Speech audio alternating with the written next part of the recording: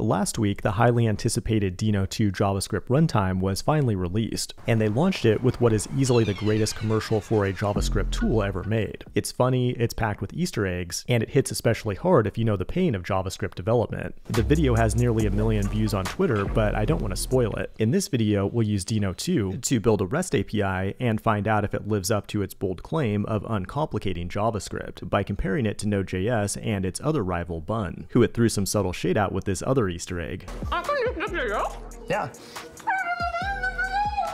I'm sure 99.9% of people missed it, but it's a brutal roast of bun, which cannot fully handle the Next.js app router without Node.js. Some people say using JavaScript on the server was the greatest mistake ever made by mankind, but I disagree. JavaScript is actually one of the fastest soy-based languages on the back end, and its non-blocking event-driven architecture generally performs better than languages like Python or PHP. It won't beat C++ or Rust, but it's far easier to use than those languages, and Deno addresses almost all the problems that have plagued Node.js development. Node.js is an awesome tool as well, but the ecosystem suffers from bloat. To build something, you generally have to mix and match a bunch of different tools, and those tools are great, but it creates a lot of mental boilerplate and chaos that you just don't have in Deno. By the end of this video, you'll be able to wipe about a dozen different JavaScript tools from your memory forever. Before we get started though, I have a funny story. I actually took a rare vacation back in September to the beautiful country of Croatia. Before leaving, Deno provided me with early access to try out version 2. They didn't sponsor or pay me, but I made a code report and scheduled it in advance, which is something I almost never do. The expected release for Deno 2 was supposed to be late September. However, they changed the release date while I was out in the middle of nowhere without Wi-Fi. Then my video went out as scheduled and totally screwed up their release plan. Ryan Dahl, the creator of Node.js and Deno, had to get on Twitter and do some damage control. I hope they're not big mad because I really do like Deno, and I'm even considering making a full course about it for Fireship Pro members. If that's something you want to see, let me know in the comments. Because as an elderly developer like myself who's over the age of 24, keeping life simple is the only way to maintain my sanity. Let's jump into some code and see how Deno does that. You'll notice that I currently have Deno version 2.0 installed, and one tool you can remove from your brain right away is Node Version Manager, because Deno can upgrade itself with the upgrade command, where you specify the version you want to use. Unlike NVM though, you can't switch between different versions, but in Deno that's typically not necessary because of the way things work in its standard library, but more on that later. But from there we'll create a new project with Deno init. That creates a project with a main.ts file in it where everything is already configured with TypeScript. And that means you can remove the tsconfig from your brain next. Now, you can go into the deno.json file and customize the TypeScript compiler there, but at least you don't have to spend two hours failing to configure it just to get started. Now, you'll also notice a main test file. Deno has a built-in test framework and runner, which we can use immediately by running deno test. And that means we can remove Jest, Jasmine, Mocha, Vitest, Chai, and virtually any other JavaScript testing library from our brain space. Now, to be fair, Node.js also released its own test runner in version 20, but I write perfect code that doesn't need to be tested anyway,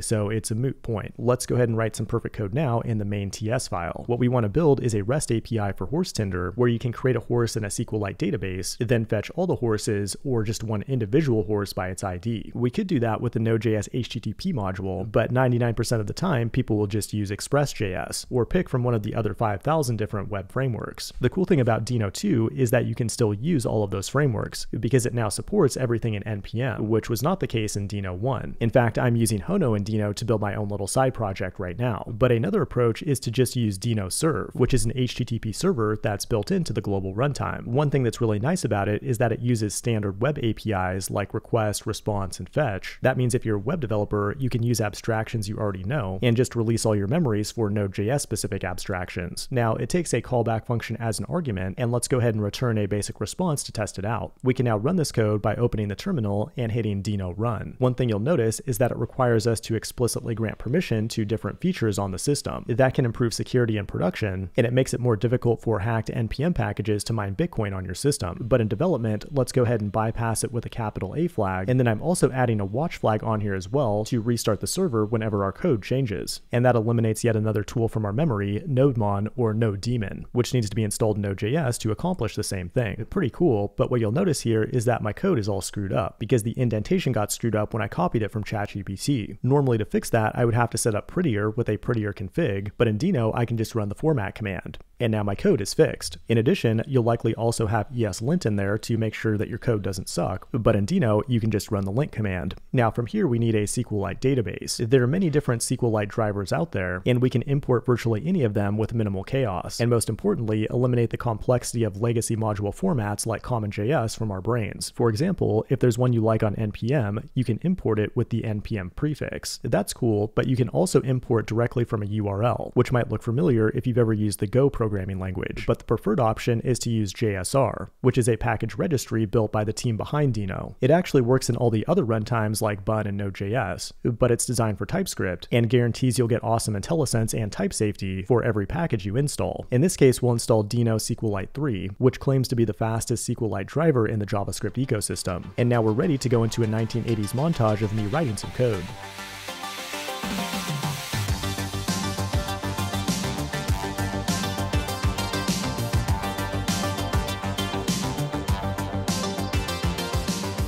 Okay, that was pretty lame. In the code, the first thing I'm doing is creating a database with a table for horses, which have a name, age, and permalink. Now moving inside of Deno serve, we first grab the URL of the request, and then do some conditional logic to figure out what kind of response we should render. Like if it's a GET request without an ID, that means we're going to return all the horses from the database. But if it's a GET request with an ID, then we'll return just one horse and our database query is adjusted accordingly. Again, it's worth pointing out that the APIs we're using here are the same APIs in the browser, which just makes a ton of sense if you're a web developer. But now if we go down to the post request where we create a new horse record, we're going to hit a problem, and that's with this permalink attribute, because what we want to do is take the name that the user provides and format it in kebab case so we can use it in a URL. Now, normally to solve that problem, I would use a tool like Lodash, but in Deno, it mostly becomes obsolete because they have a massive standard library. Like earlier earlier, we actually already looked at STD testing, but there's another STD we'll want to get called text, which has a bunch of utilities like to camel case, to kebab case, and can even do things like a word similarity sort. All these STDs help you solve common problems, which means you don't need to fill up a massive dumpster with NPM packages. That's pretty huge, and now we have a basic working REST API.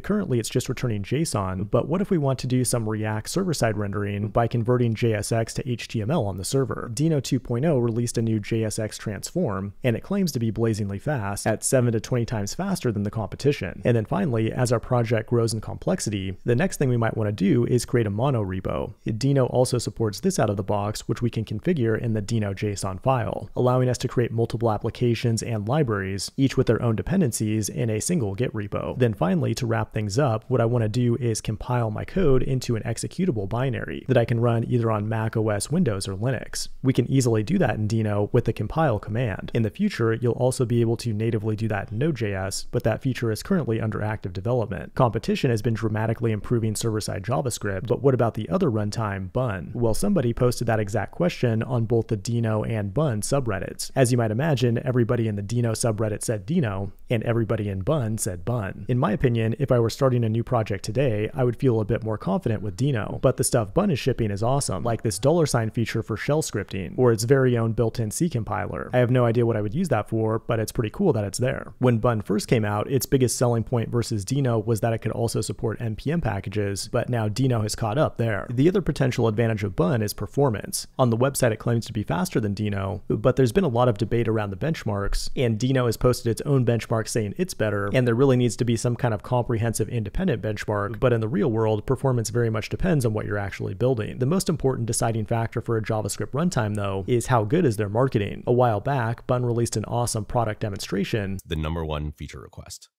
Windows support. But this latest Deno commercial felt like a Super Bowl ad that blows it out of the water, and that's why I'm choosing it for my next failed side project. Thanks for watching, and I will see you in the next one.